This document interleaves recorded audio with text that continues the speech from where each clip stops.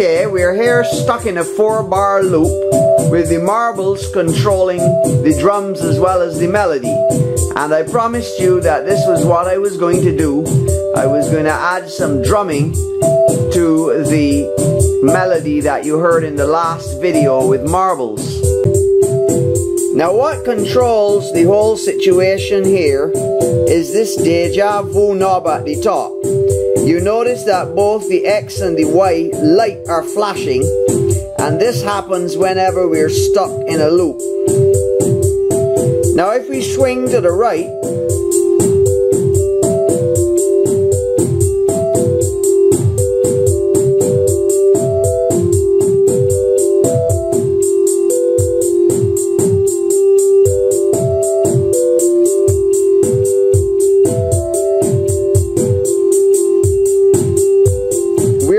play random combinations of the same pitches and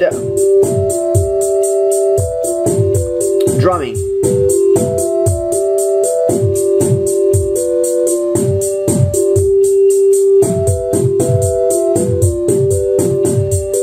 So it will change over time. It's only that no new uh, pitches will be introduced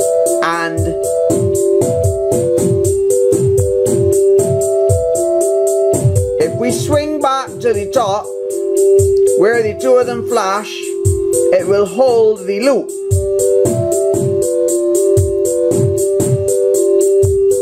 If we want to introduce more randomness into the both the drumming and the melody, as we progressively move it to the left, we will get changes.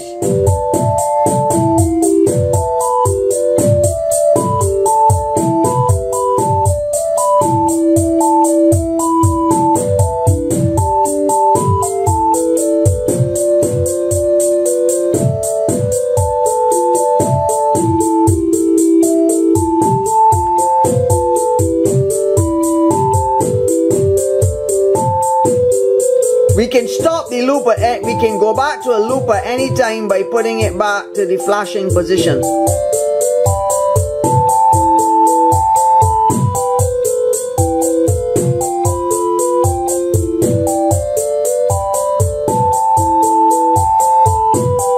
Of course you can set the loop length with this knob here. I have it set to about 4 bars or we can go all the way over here for complete randomness.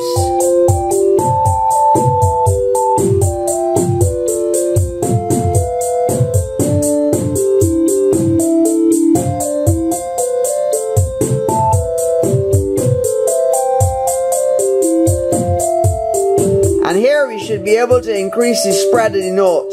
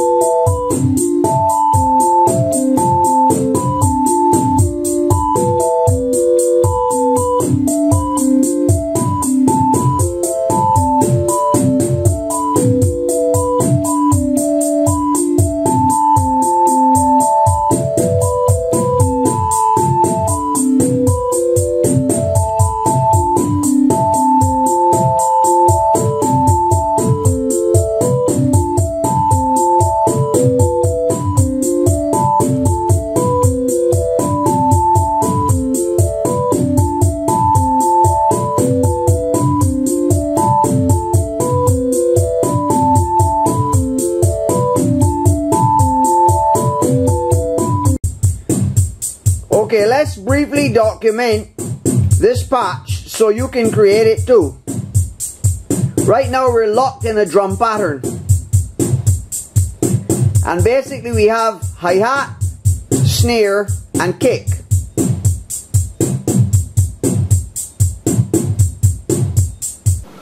The patch for making the snare and kick is well documented in the 5U and I put the link to the video below.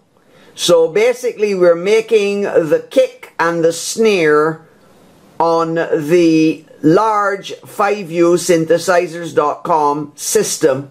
And as you can see there what we're focusing on is the envelope generators that are triggering them. And of course the trigger is coming directly from the marbles module uh, just moving from the uh, eighth of an inch to the quarter of an inch so you can go and uh, watch that video below which is in the description and that video shows you how to make the snare and the kick tones and in that particular video we trigger we triggered the sound using the red buttons you see to the left of the LEDs and now they're being tricked from tripped from the marbles.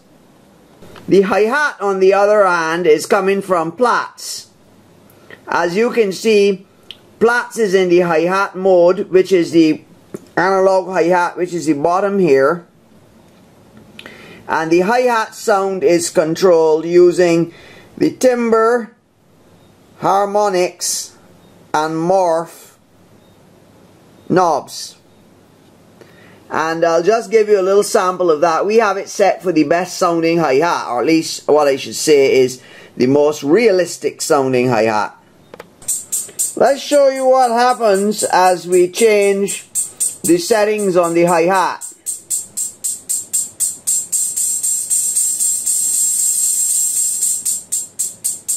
So that the um, morph uh, controls the uh, decay time so that we can go from a closed hi-hat to an open hi-hat.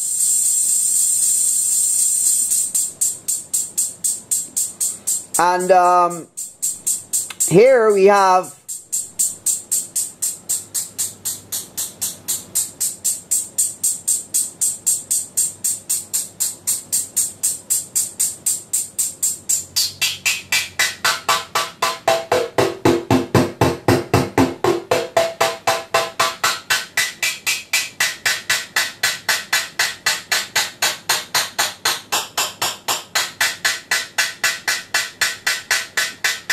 We sort of can control.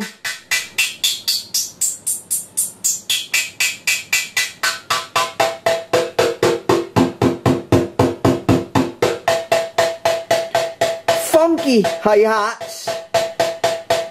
But obviously I had set the settings for the most realistic hi-hat